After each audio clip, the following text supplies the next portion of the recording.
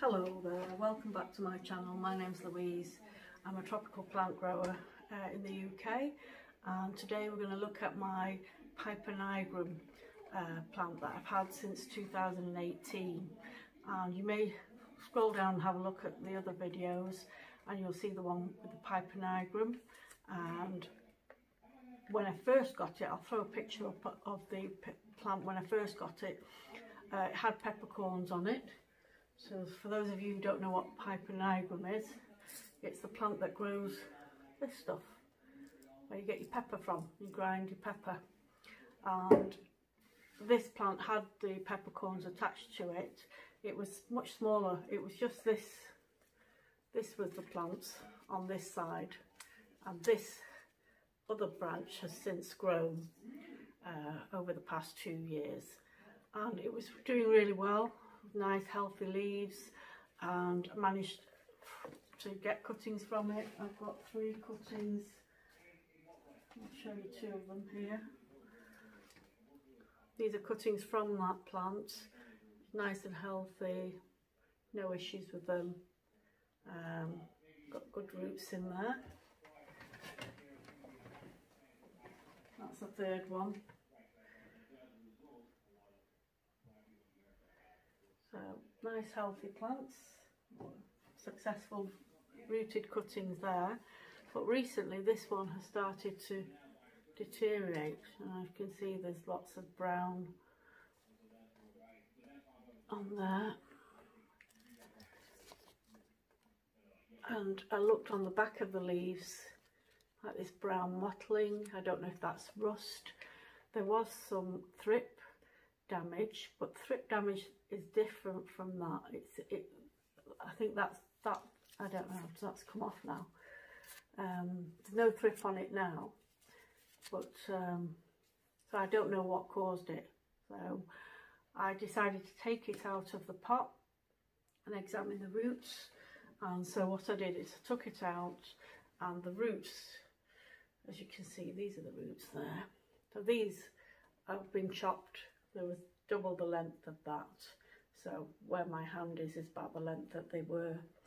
And I've removed them not because they were rotten. There was no um, slushiness or mushiness of the roots.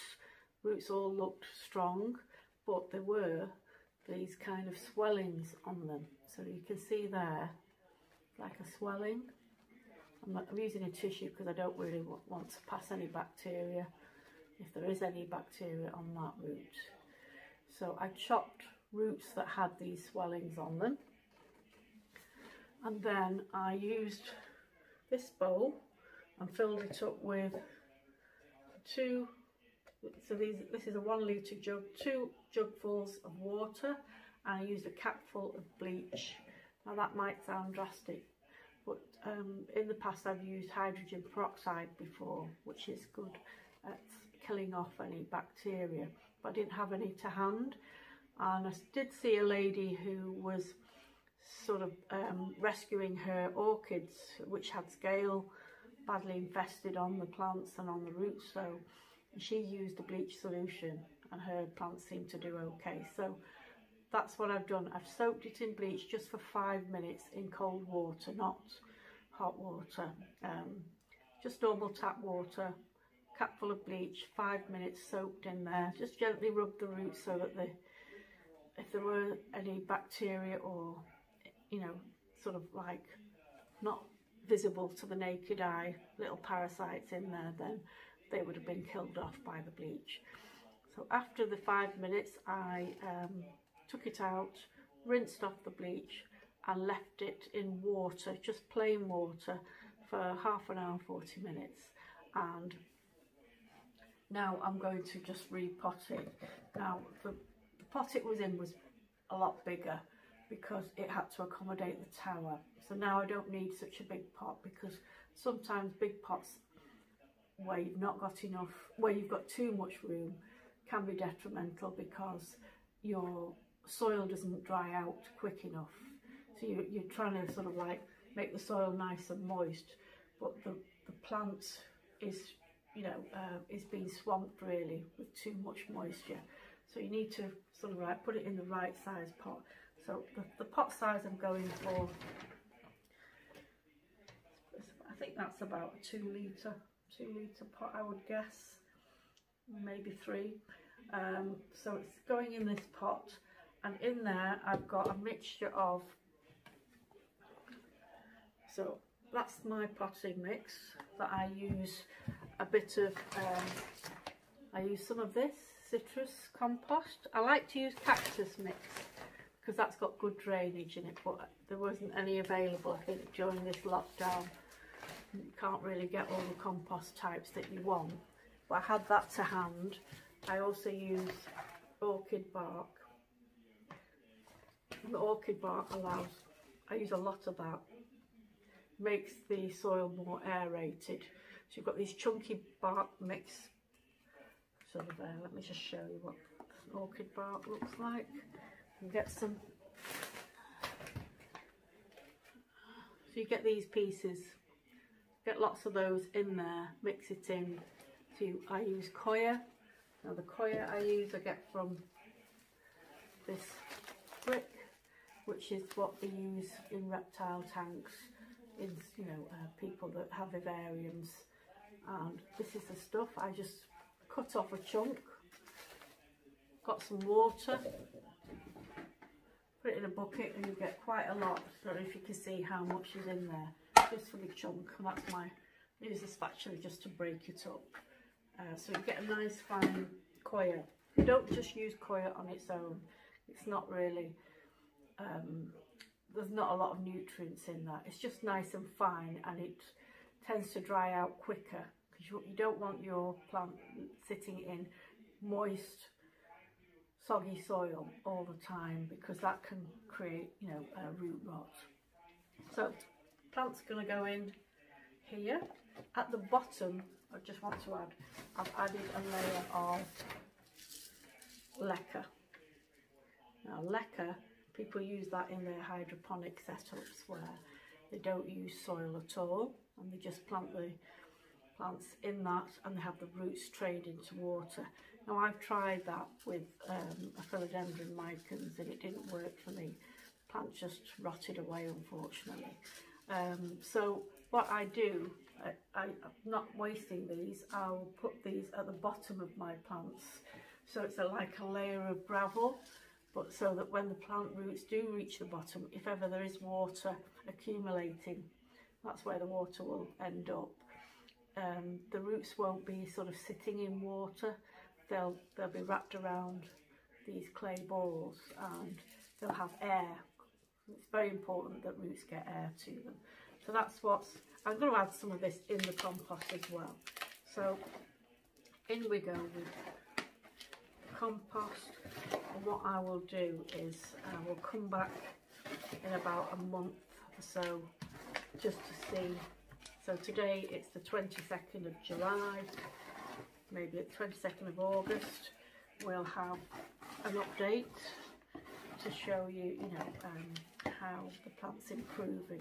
I don't know if anybody else out there who's watching is growing Piper nigrum if they've got any tips they you know the answers as to why this browning of the leaves is happening, then, you know, I welcome any advice. Um, you know, um, I'll, I'll try anything basically, uh, within reason, obviously. So, there it is, it's repotted.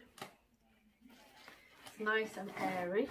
So what will happen when I water this, the water will go straight through.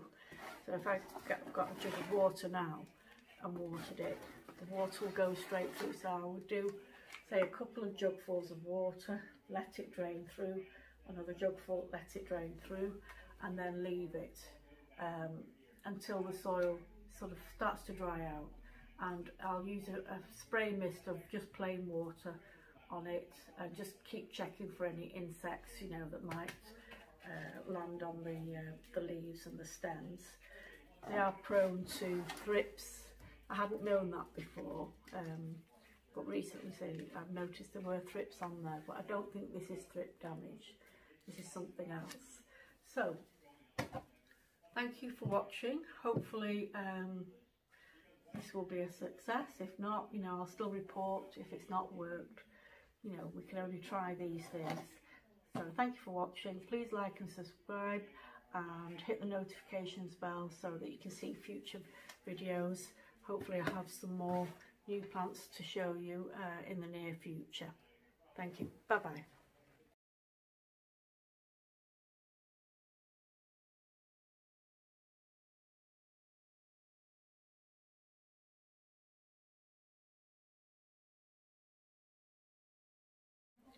Hello there, welcome back to my channel. My name's Louise.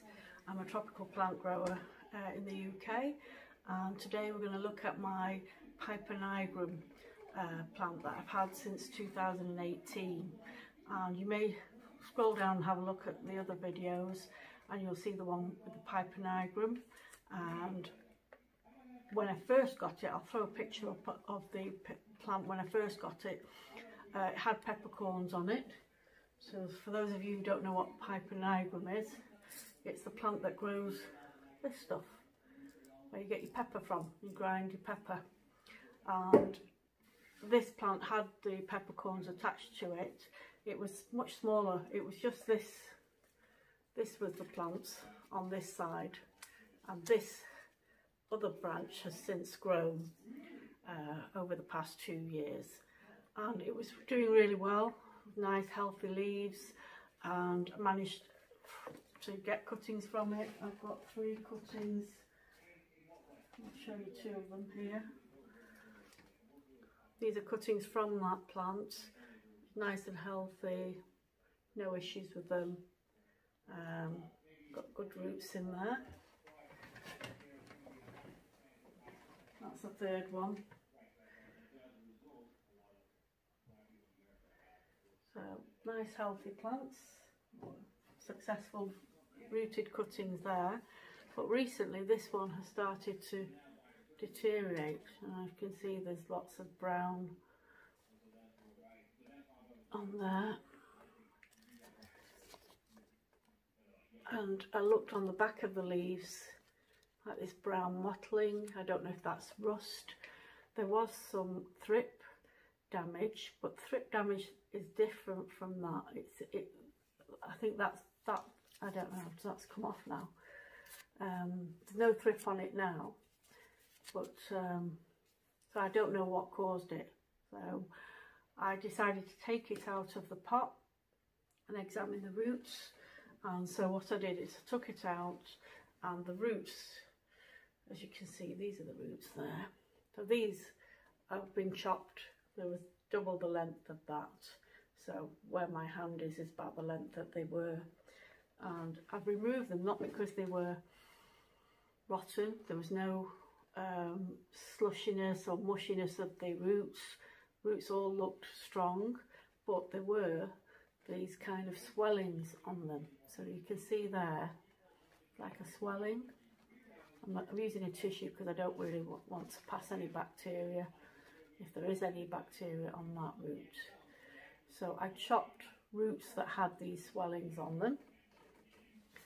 And then I used this bowl and filled it up with two, so these, this is a one litre jug, two jugfuls of water and I used a capful of bleach. Now that might sound drastic, but um, in the past I've used hydrogen peroxide before, which is good at killing off any bacteria but I didn't have any to hand. And I did see a lady who was sort of um, rescuing her orchids, which had scale badly infested on the plants and on the roots. So she used a bleach solution and her plants seemed to do okay. So that's what I've done. I've soaked it in bleach just for five minutes in cold water, not hot water. Um, just normal tap water cupful of bleach, five minutes soaked in there. Just gently rub the roots so that the, if there were any bacteria or, you know, sort of like not visible to the naked eye, little parasites in there, then they would have been killed off by the bleach. So after the five minutes, I um, took it out, rinsed off the bleach and left it in water, just plain water, for half an hour, 40 minutes. And now I'm going to just repot it. Now the the pot it was in was a lot bigger because it had to accommodate the tower. So now I don't need such a big pot because sometimes big pots where you've not got enough, where you've got too much room can be detrimental because your soil doesn't dry out quick enough. So you, you're trying to sort of like make the soil nice and moist, but the, the plant is, you know, uh, is being swamped really with too much moisture. So you need to sort of like put it in the right size pot. So the, the pot size I'm going for, I think that's about a two litre, two litre pot I would guess, maybe three. Um, so it's going in this pot and in there I've got a mixture of so that's my potting mix that I use a bit of um, I use some of this citrus compost. I like to use cactus mix because that's got good drainage in it but there wasn't any available I think during this lockdown. You can't really get all the compost types that you want but I had that to hand. I also use orchid bark. The orchid bark allows, I use a lot of that, makes the soil more aerated. So you've got these chunky bark mix of there. Let me just show you what orchid bark looks like. You get some, so you get these pieces, get lots of those in there, mix it in. So I use coir. Now the coir I use I get from this brick which is what they use in reptile tanks in you know uh, people that have vivariums and this is the stuff I just cut off a chunk. Got some water. Put it in a bucket and you get quite a lot. So if you can see how much is in there. Just for the chunk and that's my use the spatula just to break it up. Uh, so you get a nice fine coir. Don't just use coir on its own. It's not really um, there's not a lot of nutrients in that. It's just nice and fine and it tends to dry out quicker because you, you don't want your plant sitting in moist, soggy soil all the time because that can create, you know, root rot. So plant's going to go in here. At the bottom, I just want to add, I've added a layer of leca. Now leca People use that in their hydroponic setups where they don't use soil at all and they just plant the plants in that and they have the roots trained into water. Now I've tried that with um, a philodendron micans and it didn't work for me. Plant just rotted away unfortunately. Um, so what I do, I, am not wasting these, I'll put these at the bottom of my plants. So it's a, like a layer of gravel but so that when the plant roots do reach the bottom, if ever there is water accumulating, that's where the water will end up. Um, the roots won't be sort of sitting in water, they'll, they'll be wrapped around these clay balls and they'll have air. It's very important that roots get air to them. So that's what's, I'm going to add some of this in the compost as well. So in we go with compost and what I will do is I will come back in about a month or so just to see so today it's the 22nd of July maybe the 22nd of August we'll have an update to show you you know um, how the plant's improving I don't know if anybody else out there who's watching is growing Piper nigrum if they've got any tips then you know the answers as to why this browning of the leaves is happening, then, you know, I welcome any advice. Um, you know, um, I'll, I'll try anything basically, uh, within reason, obviously. So, there it is, it's repotted. It's nice and airy. So what will happen when I water this, the water will go straight through. So if I've got a jug of water now and watered it, the water will go straight through. So I would do, say, a couple of jugfuls of water, let it drain through, another jugful, let it drain through, and then leave it um, until the soil sort of starts to dry out. and I'll use a, a spray mist of just plain water on it and just keep checking for any insects you know that might uh, land on the, uh, the leaves and the stems. They are prone to thrips. I hadn't known that before um, but recently I've noticed there were thrips on there but I don't think this is thrip damage. This is something else. So thank you for watching. Hopefully um, this will be a success. If not, you know, I'll still report if it's not worked. You know, we can only try these things. So thank you for watching. Please like and subscribe and hit the notifications bell so that you can see future videos. Hopefully I have some more new plants to show you uh, in the near future. Thank you. Bye-bye.